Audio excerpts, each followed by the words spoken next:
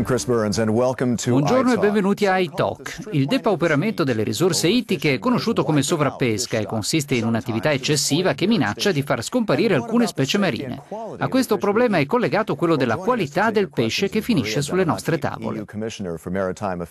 Ne parliamo con Maria Damanaki, commissario europeo per gli affari marittimi e la pesca, ma prima di addentrarci nel tema vorrei chiederle del suo paese, la Grecia, come giudica la situazione economica al momento?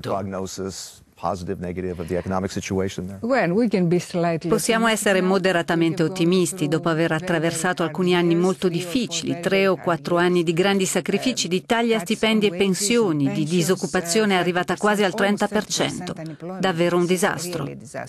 C'è chi dice che la Grecia sia sul punto della disintegrazione sociale, eppure lei è ottimista? Perché essere ottimisti? Perché ora cominciamo a intravedere una luce in fondo al tunnel. Per la prima volta la Grecia ha un surplus, ci sono riforme in corso e ci aspettiamo un ritorno dall'attività turistica. A dire il vero sono attesi molti turisti quest'estate. Quindi se continuiamo su questa strada penso che alla fine ce la faremo, ma le difficoltà non sono finite. Teniamo le dita incrociate. Passiamo alle domande. La prima viene da un'associazione chiamata Fish Fight. Hola, soy Mario Picasso. Mi chiamo Mario Picasso. Fish Fight si batte contro la pesca indiscriminata e gli scarti di cattura e siamo sostenuti da 850.000 cittadini. L'ultimo ostacolo nella riforma della politica comune sulla pesca è la posizione di alcuni Stati membri come Spagna, Francia e Irlanda.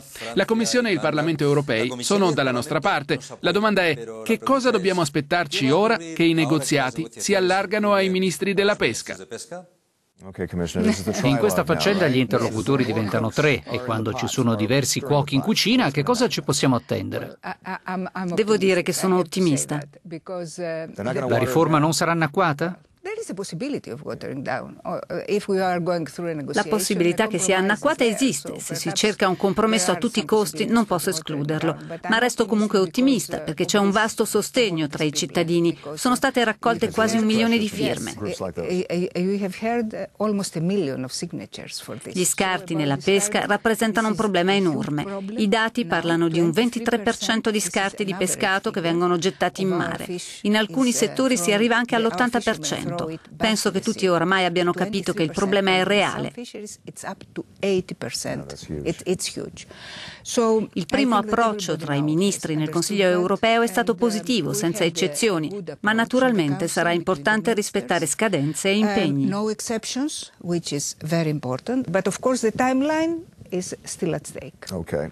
Passiamo ora alla domanda di un pescatore. Je m'appelle mi chiamo Clipa Petru, sono romeno e sono un pescatore.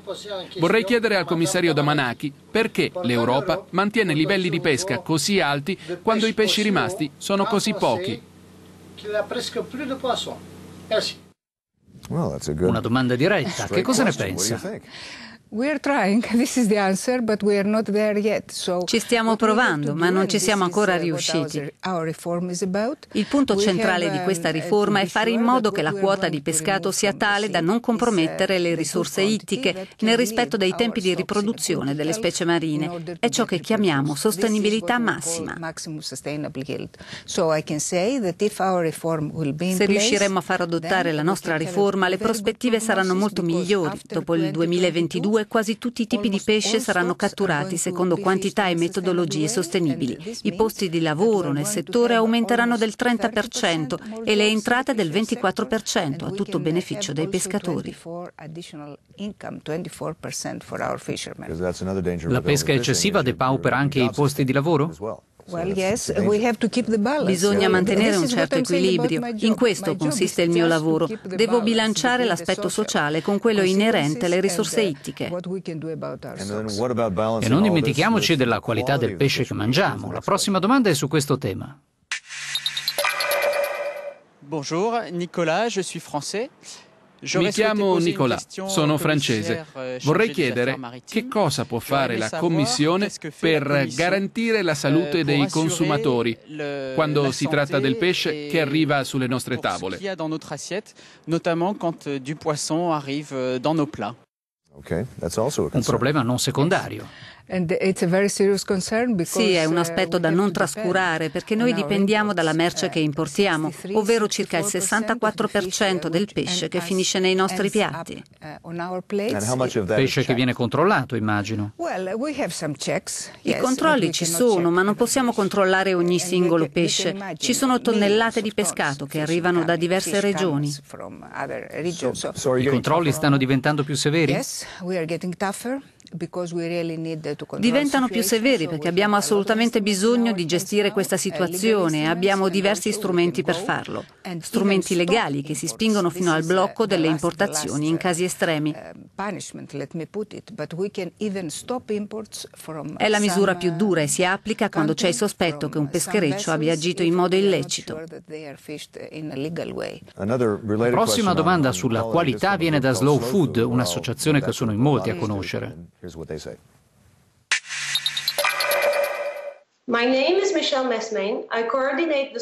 Mi chiamo Michelle Mesmain, coordino la campagna di Slow Food per la pesca Slow Fish. La domanda è questa: come possiamo preservare più efficacemente i nostri oceani se continuiamo ad adottare un sistema di quote di pesca, dimenticando che esistono interazioni ben più complesse tra pesci e ambiente? E perché promuoviamo l'acquacultura, che è un po' come prendersi cura delle foreste innestando fattorie?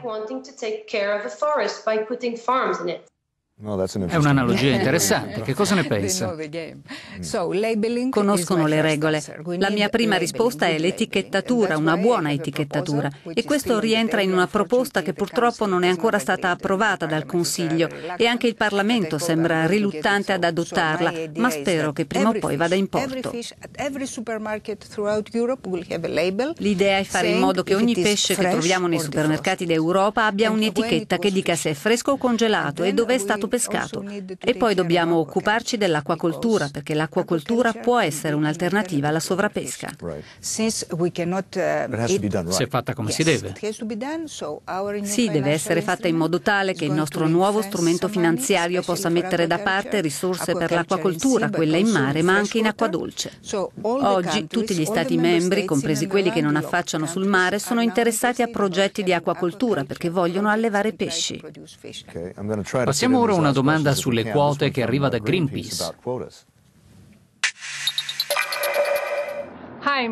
Mi chiamo Saskia e vengo dalla Germania. La Commissione sostiene che il sovradimensionamento dei pescherecci sia uno dei fattori responsabili della sovrappesca in Europa. Ora che la proposta di ridurre le capacità dei pescherecci con un sistema di quote non è più attuale, quali soluzioni alternative ricercherete? Come intendete procedere? Sarò onesta, sarà molto difficile. Dobbiamo cercare di far passare l'idea che i fondi destinati ai singoli Stati membri sono sottoposti a condizioni. Abbiamo un fondo e se questo fondo è finanziato con i soldi dei contribuenti servono regole molto severe che impediscano agli Stati di mettere le mani sui finanziamenti, a meno che non siano disposti a ridurre la sovracapacità.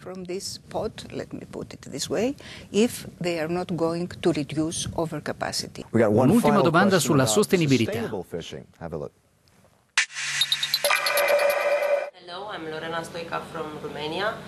Mi chiamo Lorena Stoica e sono romena. La domanda è perché l'Europa permette di pescare a questi livelli quando sappiamo che la cosa non è sostenibile? Che cosa conta di fare, commissaria Damanaki?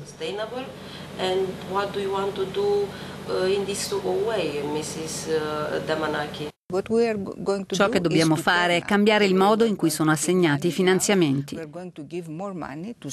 Daremo più soldi ai pescherecci più piccoli, sosterremo le comunità locali, i pescatori locali, li sosterremo per fare in modo che possano dare nuova linfa alle economie locali, coinvolgendo anche le donne nel processo di trasformazione dei prodotti ittici.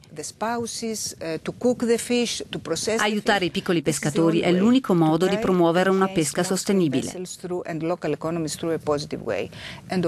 E poi, naturalmente, dobbiamo imporre dei limiti all'attività dei grandi pescherecci.